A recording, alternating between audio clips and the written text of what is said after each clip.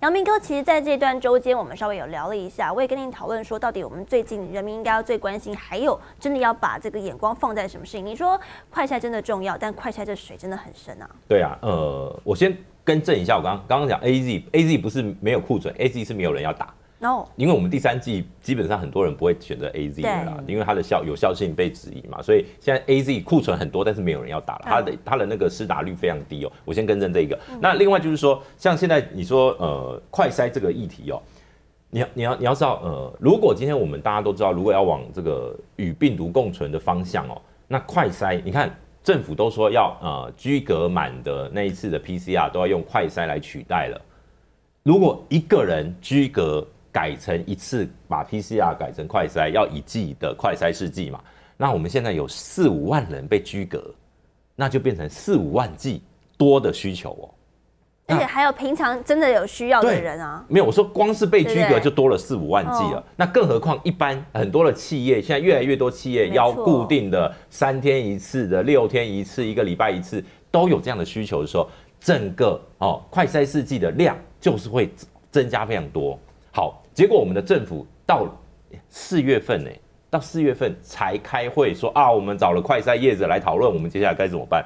那你知道那那场会议其实就我了解哦，呃，我们过去所谓口罩国家队的一个最基本的一个呃用意，就是说让大量的所谓的国军备或是后备军人去做什么，你知道吗？他们不是去做生产口罩，那个生产线都有人了，他们要做什么分装？是。就是把那个几个口罩放成一个塑那个塑胶袋夹链袋有没有夹起来？里面还加一张那个政府的宣文宣这样子，然后就压起来，然后送到把一几包几包，然后包在一起，然后送到超商。他是在做这个所谓类似手工艺的这个分装的概念，对对对对，有点代工厂的这种概念。好，现在来现在的这个快筛的这个呃国家队的所谓的这个概念一模一样，嗯，同样的是要让。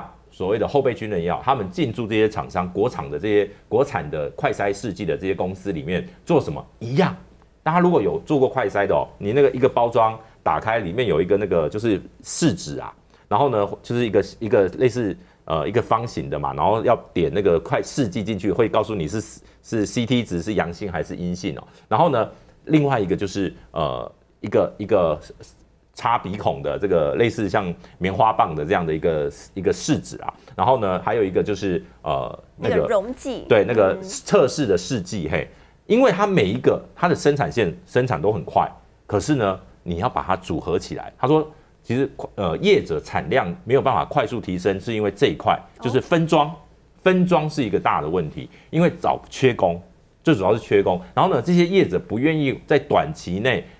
聘雇大量人，因为什么？你要给劳健保，要给薪资，然后呢，你不可能只要你来做三个月，然后三个月后又把他们 fire 掉嘛，不可能嘛。所以呢，这时候，诶，这时候政府想到了，诶，我们当国家队的，呃，口罩国家队的时候，有找这些后备军人来帮忙，所以这一次一模一样的模式又套用了，又让这一群呃免费的人力进入到快筛的这个业者里面去做这个，所以政府才能够去征用，才能够去做所谓征用这个快筛试剂哦。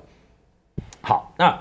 既然你终于想到了哈，终于想到也就算了哈。那可是呢，为什么？比如说我们以价格来讲，既然你政府的力量已经进去了，结果我们的国产的业者说什么？他说我要五月五月以后才可以降到一季两百块。哦，昨天呃前两天就是前天有一个最大的那个快筛试剂的业者，他说。要到它分阶段嘛？他说要分四阶段，然后呢，四月底先降到两百三，五月初降到两百，然后呢，五月底最后呢会降到大概一百一百一百三还一百五左右这样子。那我就很好奇啊，为什么不能一步到位？就是其实大家也都知道，现在快筛的量，快筛试剂的量很大。好，其实我们都知道快筛试剂哦，这个因为其实这都是政策耽误了业者。去年你知道最早提出快筛试剂国家队的有两个立委哦，一个叫邱显志，一个叫何志伟。嗯，这两个立委他们在立法院讲了一百遍，然后呢开记者会呼吁政府，我们有很优秀的快筛业者，但是我们的政府不给他们要证。在去年本土疫情刚爆发的时候，那时候他们因为很多民众就希望想说，自己快筛的用意就是让你在家你能够测试自己到底有没有呃这个这个染疫嘛。那当时的政府就因为我们不要普筛，我不希望民众自己在家快筛。好，所以呢，他当时核准的加速的这个药厂的加速非常少，到了后来下半年才陆续开放几家可以可以来这个这个贩售他们的这个快筛试剂哦。所以呃，我我这完全就是政策耽误，好，那耽误了就算了，你那是你那就像陈时中讲说什么时空背景不同啦，那个时候是要清零啦，怎么样？好。今年一月，这个 Omicron，你总该知道，我们就应该要往这个与病毒，这个病毒始终是会进入社区大量感染。那这个时候，快筛就变成一个很有效的工具了，因为你不能让这个大量的人人潮涌进医院去做 PCR，会拖垮你的医疗量能。结果呢，我们居然到了四月，我们到了四月才想到要征用这个快筛试剂，才想到，呃，才开始讲什么类普筛也好，爱心普筛也好。好，我我我我我讲真的哦，今天其实我看到那个，就是等一下我们要讲这个高雄市政府的这个案例哦。其实我想到最最重要的不是高雄市政府怎么去欺负警察，嗯，我想到的是为什么别的县市都说没有快筛试剂，高雄市政府很多哦，多到还要叫警察帮忙发。对，哎，是不是执政党的执政县市？优先可以抢快筛高雄筛烟角木，我不知道，因为很奇怪，因为每个县市都说，哎，我们现在的那个库存都没了，而且因为本来下了订单都被快筛国家队征用了，所以他们现在各县市都要向中央去申请快筛试剂。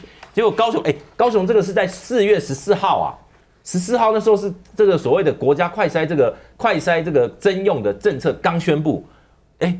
高雄市政府已经拿到快筛试剂了，已经开始发到基层去做了。哎，你不得不佩服陈其迈的这个市长的这个超前部署，别人都还拿不到，别人都在缺快筛试剂，他已经抢到了。所以，哎，我从这个角度来看哦，你不要说这个这个陈陈其迈是在欺负警察，那他是帮市民争取，争取了大量的快筛试剂，别的县市抢不到。暖。暖对，就是一个暖，就是一个很贴心的市长，所以呢，我们一定要肯定一下陈市长。希望哎，他不要只暖高雄市指挥中心呐，你我们现在全部人都在缺高那个快筛试剂耶。因为什么？因为你知道，如果如果今天业者哦，他宣布说哦，我今天呃四月底是一个价钱，是五月初是一个价钱，请问除了那种非筛不可的民众之外，他一定等到。对于没有急性需求、筛快筛检需求，他就希望我等到降价之后我再去买。结果结果业者是用这种方法，因为他要必须要抑制他现在比较高的价格，他得要花比较多的量去给中央去征用嘛。那结果呢？现在为什么有一些县市有快筛试剂，有一些县市就是抢不到？那到底这个标准何在？我觉得中央也应该要说清楚，你们快筛试剂征用之后如何分配？对我觉得快筛试剂哦。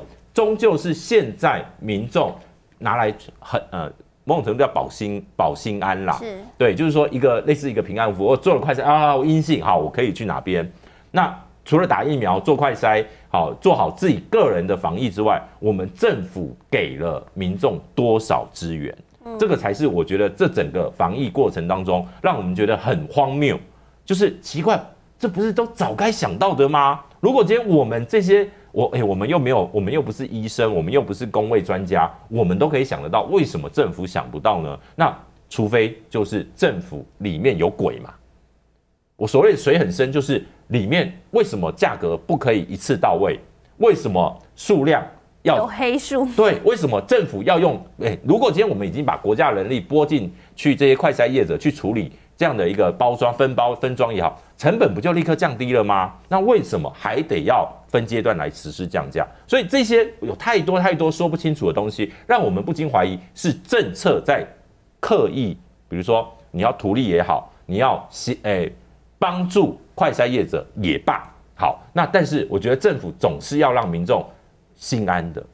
你不能最后就是啊，人民自己去处理啦，人民自己解决啦。那这个都都，我觉得现在就完全看不到有一个负责任的政府，这是一个最悲哀的地方。